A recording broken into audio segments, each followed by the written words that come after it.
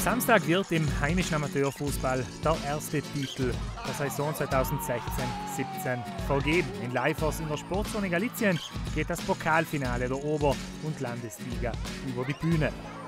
Um die begehrte Trophäe duellieren sich zwei Teams, die in der Meisterschaft nicht unbedingt glänzten.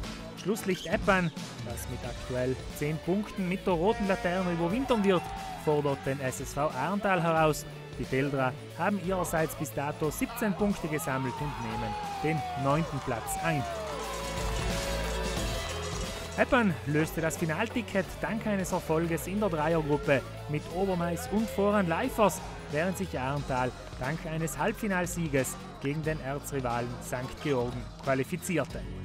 Anpfiff in Leifers ist um 14.30 Uhr.